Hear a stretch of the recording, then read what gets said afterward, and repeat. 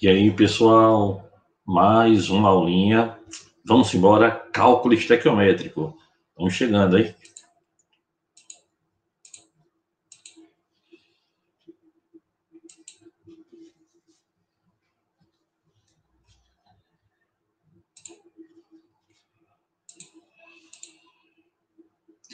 Vê que legal, pessoal. A gente vai estudar hoje as regras gerais do cálculo estequiométrico, tá certo?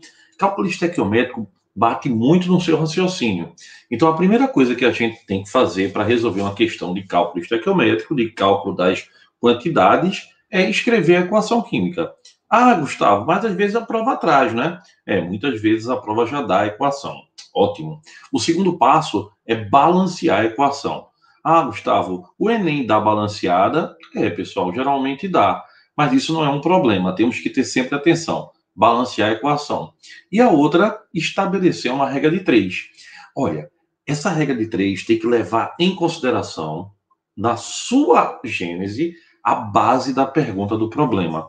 Então, pessoal, o coeficientezinho que tem ali na frente, ó, por exemplo, um mol de nitrogênio reagindo com 3 mols de hidrogênio, formando 2 mols. Esse coeficiente é a proporção em mol ou a proporção em volume. É a proporção em mol ou a proporção em volume. Então, aqui, ó, quantidade de matéria, mol. Um mol de nitrogênio reagindo com 3 mols de nitrogênio para formar 2 mols de amônia. Eu posso transformar essa proporção em massa, porque nitrogênio pesa 14 gramas por mol. Como eu tenho 2 mols, 28 gramas. 3 mols de hidrogênio. Cada mol do, da molécula de hidrogênio pesa 2 gramas. Então, 3 vezes 2, 6. Dando 2 mols de amônia. 14 com 3, 17. Note que segue também a regra do Lavoisier. Ó. 28 com 6, 34. E no produto, 34. Massa do reagente igual a massa do produto no sistema fechado. Isso tanto também pode se transformar em número de moléculas, né? Um mol tem quantas moléculas? 6,02 vezes 10 a 23, que estão para 3 mols de moléculas, 3 vezes 6,02 vezes 10 a 23, produzindo 2 mols de moléculas, 2 vezes 6,02 vezes 10 a 23, que quanto vale um mol, né? Um mol equivale a 6,02 vezes 10 a 23 unidades, que é o chamado número de Avogadro. E volume na CNTP. Um mol é, corresponde para um gás nas CNTPs, condições normais de temperatura e pressão, a 22,4 litros. Então, pessoal, depois que a gente tem a relação, vamos para a regra geral. Ó. Primeira coisa, a proporção. 1 mol, 3 mols para 2 mols. A proporção estabelecida. Você pode converter em massa em volume. Vamos converter em massa? 1 mol de nitrogênio, 28.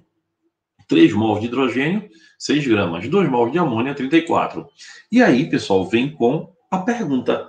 50 gramas de nitrogênio produz quanto de hidrogênio, quanto de amônia? Aí você faz uma regra de 3 direta e resolve a questão. Por exemplo, olha aí. Qual a quantidade de matéria, número de mol, de amônia, NH3, obtida pela reação total de 7,5 mols de gás hidrogênio. Ele está relacionando hidrogênio com amônia. Então, pessoal, a gente tem a proporção, ó, 3 mols de hidrogênio estão para 2 mols de amônia. Olha, logo 7,5 mols está para X. Extremo pelos meios, 7,2 vezes 7,5 vezes 2, 15, dividido por 3, 5. Resolve a questão direto. Questão de cálculo estequiométrico, tá? A gente tem que começar pela base. Olha que legal aí, ó.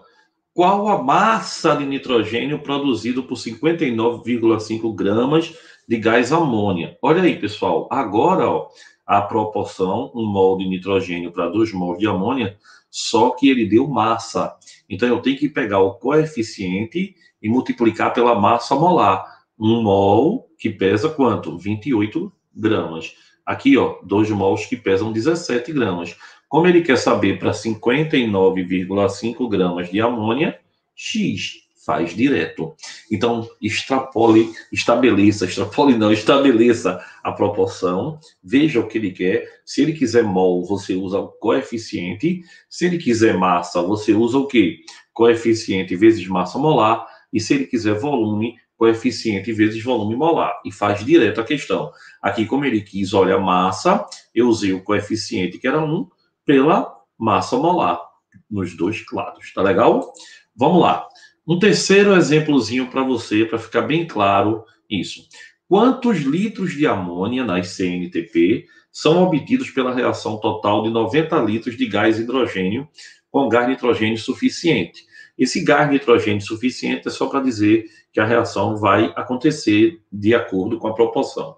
Então, olha aí, pessoal. Primeira coisa, ele está me dando ó, 3 mols de hidrogênio para 2 mols de amônia, mas ele quer volume. Então, 3 vezes o volume, 22,4. Dá 2 vezes o volume, 22,4. Como ele quer saber 90 litros de hidrogênio, X. Então, dá 60 litros de amônia. Então, se for mol, usa só o coeficiente. Se ele pedir a massa, coeficiente vezes massa molar. E se ele pedir o volume, coeficiente vezes o volume molar. Tranquilo até aí, não é? Vamos mais uma. Ele dá uma equação de combustão. Vê qual a massa de água produzida na combustão, na queima, né? Completa de 5 mols de butano.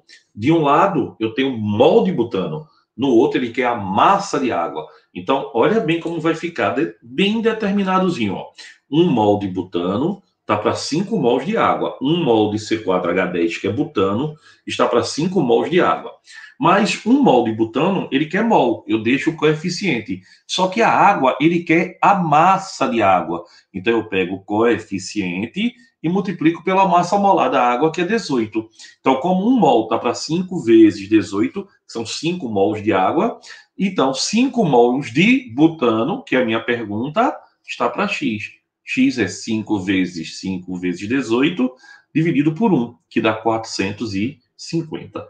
Legal? Então, pessoal, do lado que ele quiser mol, você deixa o coeficiente.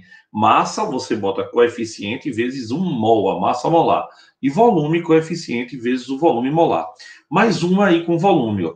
Considerando que a reação de combustão do butano foi realizada nas CNTPs, calcule a quantidade de matéria, o número de mol, necessário para produzir 112 litros de gás carbônico.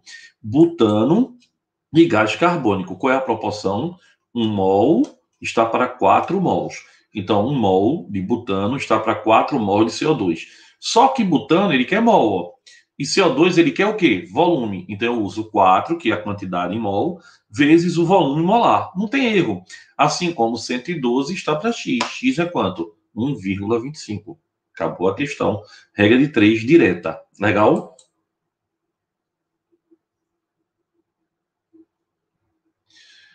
E aí, pessoal, não se esqueça, tá? Qual o volume de gás oxigênio consumido na combustão completa do gás butânico, de modo a produzir 50 litros de CO2, dióxido de carbono, considerando que todos os participantes da reação, olha bem, estão nas mesmas condições de temperatura e pressão. Vou precisar que você lembre de uma aulinha de gases. Então, eu tenho aí a lei volumétrica de Gay-Lussac, onde ele diz o quê? Volumes iguais nas mesmas condições de temperatura e pressão, apresentam o mesmo número de moléculas. Então, ó, nas mesmas condições de temperatura e pressão, os coeficientes estequiométricos, a proporção em mol, corresponde à proporção em volume. Então, a proporção em mol é a proporção em volume. Falei no começo da aula. Anota aí. Anota em todo canto. Proporção em mol é proporção em volume. Ó. Então, 13,5, 6,5 mol de O2 está para 4 mol de CO2. 6,5 volumes está para 4 volumes. Logo, 6,5 volumes, pode ser litro, mililitro, pode ser no que quiser. 6,5 litros estão para 4 litros de CO2. Então, se eu quiser 50 de CO2, quanto eu vou ter que ter de O2? 81,25. Lei volumétrica, liguei no saque. Proporção em mol é proporção em volume. Então, pessoal, era isso que eu queria mostrar hoje na aula introdutória de cálculo estequiométrico. Espero que vocês tenham gostado e entendido. Até a próxima, pessoal. Beijão, valeu!